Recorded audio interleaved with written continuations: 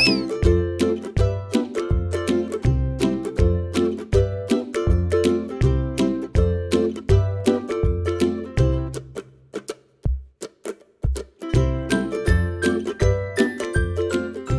迎回来。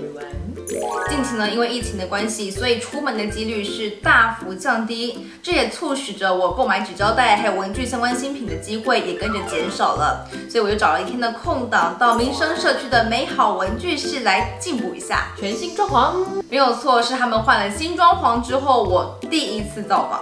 大家就跟着文具 A 一起来逛逛吧。Go！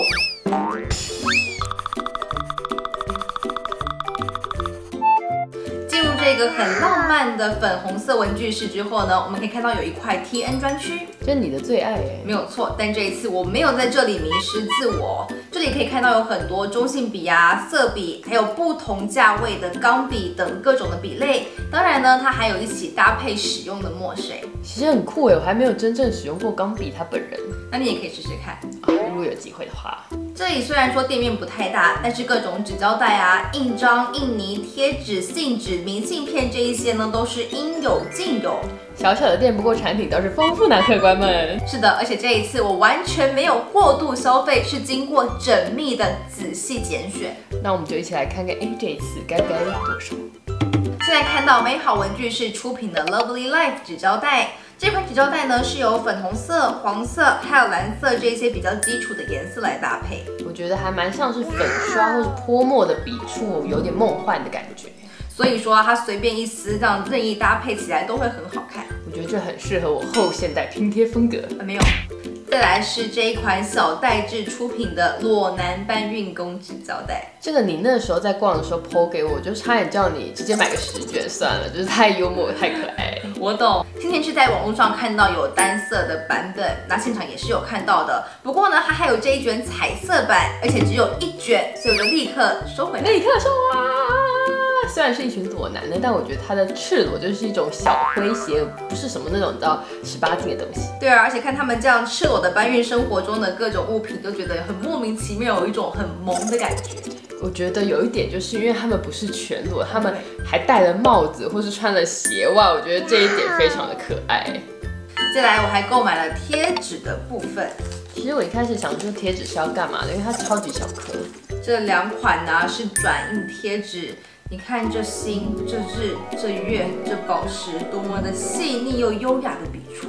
的确是挺细致的，而且它们集体整齐排列，我觉得对强迫症来讲非常疗愈。而且这还是我很喜欢的彩虹色的渐层，所以我就没有忍住买完了。我觉得这用来做卡片之类的也非常适合。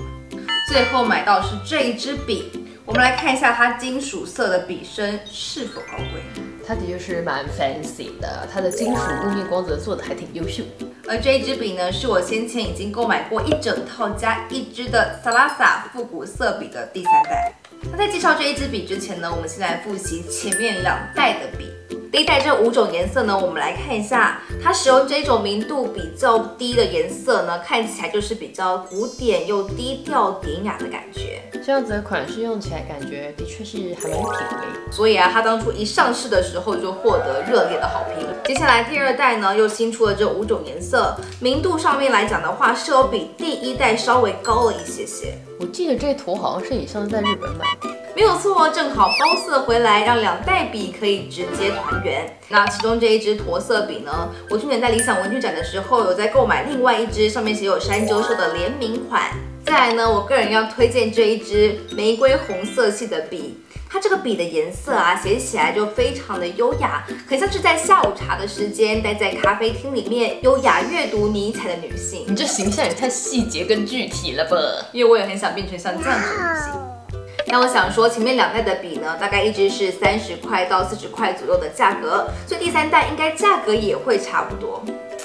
但你看它这种高档的质感设计呢，怎么会差不多？没有错，这一支大概是三百块钱起跳呢。啊哈哈哈哈！毕竟这笔真是颜值爆表，谁用谁好看。虽然很想要说什么小孩才做选择，我全都要这种台词，那我冷静下来之后呢，决定只要买那个新增的黑色款就好。殊不知，殊不知，收获就是那黑色。当然，所以呢，我就买了我的第二顺位，也就是第一代的这个深蓝色。那第三代呢，和前面两代一样，都是这种耐水性的墨水，切起来很顺，而且现在呢还有推出笔芯，所以以后用完之后呢，就只要更换笔芯就可以了。整体来说呢，购物的体验和感受都是很好的。裸体男孩们也是非常好的。那这一次很遗憾的是，我本来想要购买色见本帖的雪月花之色，还有天神之色，只可惜都没货了。但我觉得没关系，因为所有美好的遗憾都是为了下一次购物而铺垫。我也会继续关注这些美好的事物。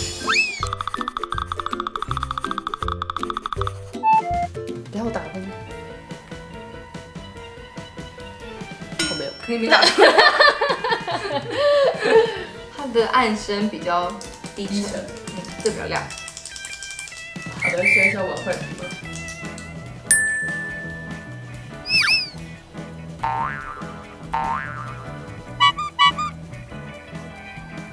以上就是从美好文具室凯旋而归所带来的战利品们分享。如果你也喜欢文具，请跟着 A 一起当个文具人吧。如果你有任何意见的话，也欢迎留言告诉我们哦。当然，订阅订阅不要忘记，还有按赞分享我们的影片给朋友哟哟哟哟。好，大家拜拜。拜。